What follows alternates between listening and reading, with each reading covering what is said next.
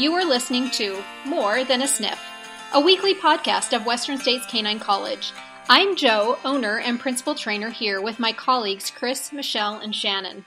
Today, we are going to talk about leash reactivity, and um, it's probably one of the most common uh, behaviors, especially as we're heading into uh, the springtime and summer, and everybody's going to have their dogs out. So we're going to just talk about, you know, what is leash reactivity? What do we see as we're out and about that we would deem as leash reactivity? Um, and um, how can we fix it? And what needs to be done to fix the problem? So, um, Shannon, we'll we'll start with you as far as out and about, and what uh, what and how would you describe leash reactivity overall? To me, leash reactivity is any negative reaction that your dog has towards something that's happening while you're on a walk. So, for example, you're walking along, someone rides by on a bicycle, your dog tries to chase the person on the bicycle and barks at them. That's a reaction. Yep. Can be to bicycles, people, dogs. Sometimes the dog will have a reaction for something I can't see what Yeah. it is. They just start wigging out Yep. when they walk by a certain house or you go in a certain neighborhood. So any negative reaction to something that they're perceiving on your walk. Great. Okay. Chris, what uh, what do you see as leash reactivity? Well, so just as a standard disclaimer, I'm not a trainer. And that's why we have you on here, so that we, you know, there's somebody I'm- else's I'm perspective. and- providing what's known as the lay opinion. um, well, building off of what what Shannon said, I guess I would I would define leash reactivity as um, dogs that that are reactive while they're on leash to certain certain things within an environment, and those where they would not be if they're off leash. Where some dogs tend to be, you know, and, and I've, I've seen it through um, you know, doing walking trains where some dogs are um, just reactive on leash to other dogs, and but off leash they're fine. Mhm. Like they're in, in to me, it seems like um, you know maybe it's an association with with the leash holding them back or something something like that. Hmm. But again, that's just my my opinion. Michelle? Um, I, I agree with everything that's been said. Um, to add on to that, though, I also think that there's another side of it that is that is not just the dog is acting negatively necessarily. Sometimes it can be the dog is too excited, and um, the owner, even that that owner will be like, "Oh, my dog is nice," but that doesn't mean it comes across to the other dogs as nice. Um, even if it's just a lab that's just super excited and you think that they, they just want to go play to another dog, that can also look very extremely threatening. So sometimes it's not necessarily a negative reaction. Sometimes it can be what you see as a positive reaction. Um, so I think it's just any reaction more than just looking at that in that direction of whatever is Mhm. going on around us, um, positive or negative.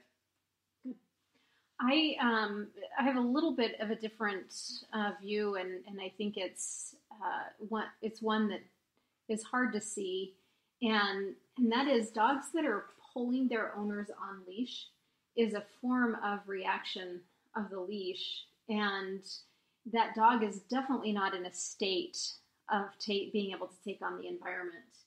And um, and on that note, we're going to kind of lead into what causes leash reactivity and um, and as a dog is tense, pulling and pulling and pulling against that leash, and something loud happens, something scary happens when they're not in um, the frame of mind of being supple and part of just enjoying the environment, um, creates a reaction in the dog because you, as an owner, are just the anchor to the dog and the leash.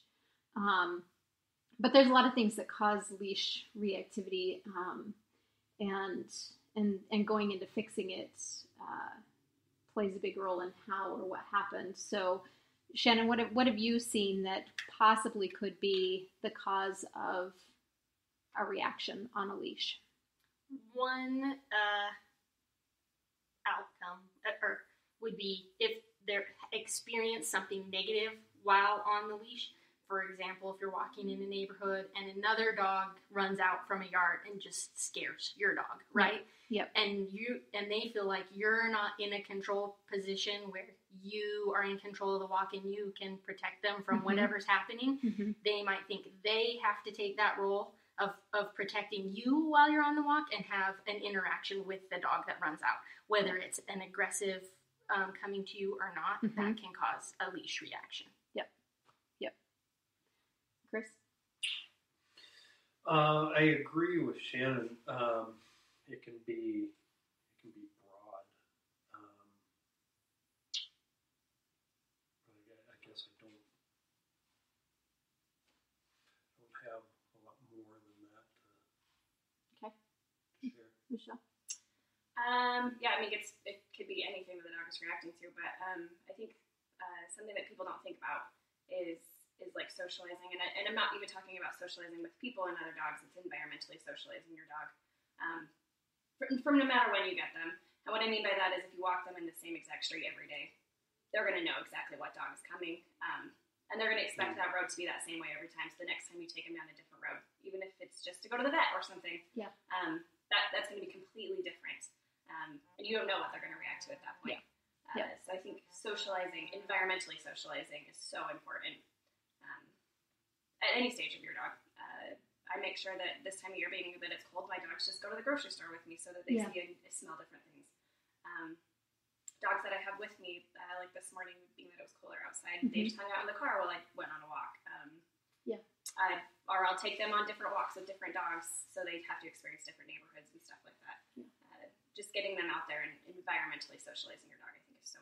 I think it's almost more important than actually just like socializing with other dogs and people. Right. Um, that they don't react to, to just broad things like that. yeah, Yeah.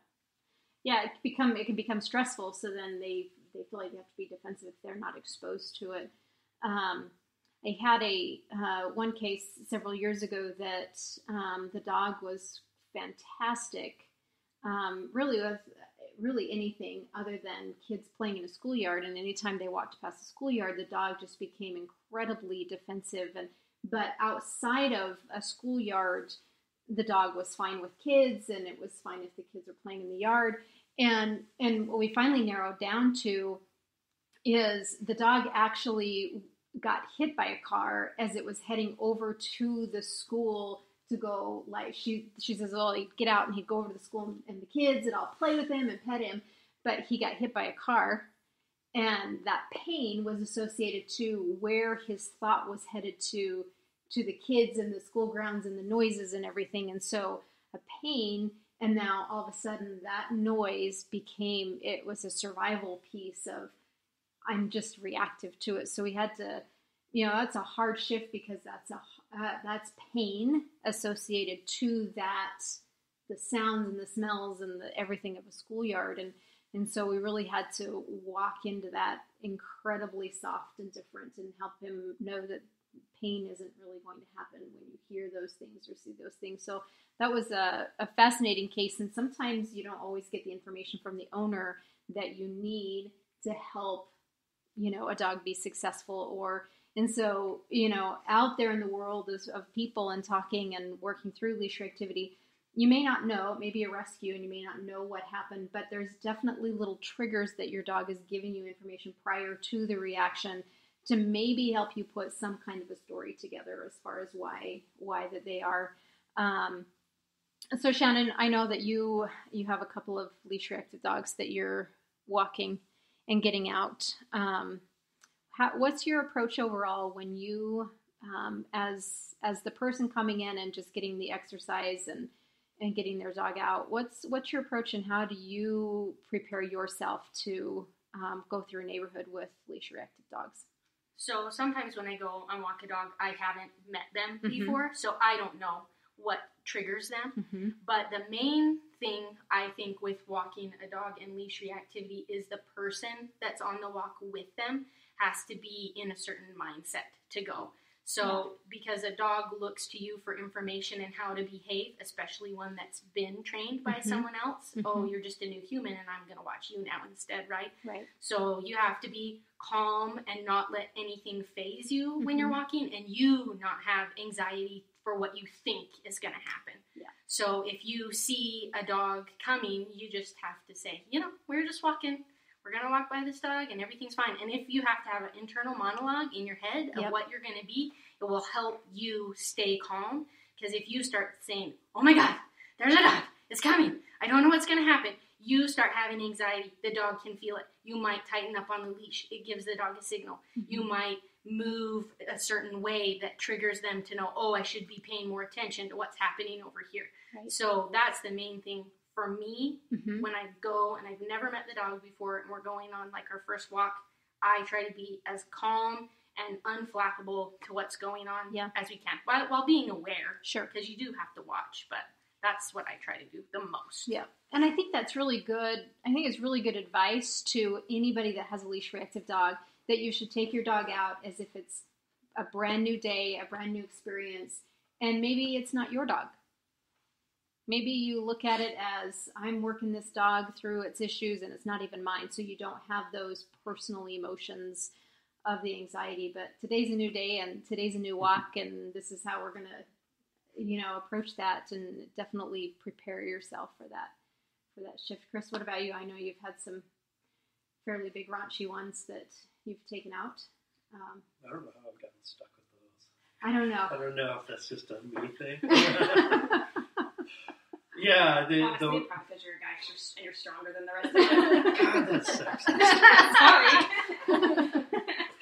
um, um, yeah, the the one that the one that really comes to mind is a client that we have um, that it, this the the neighborhood was probably the worst I've ever been in. It's it was absolutely the worst, and, and, you know, without naming names or anything like that, it you know, big, big beefy black dog. He he, he actually has this wonderful personality. sound like scooby-doo Yeah, yeah, r- real a real super personality to him, and um, a little over the top player, but you know, not, not anything that you know that, that I would see as, as a problem.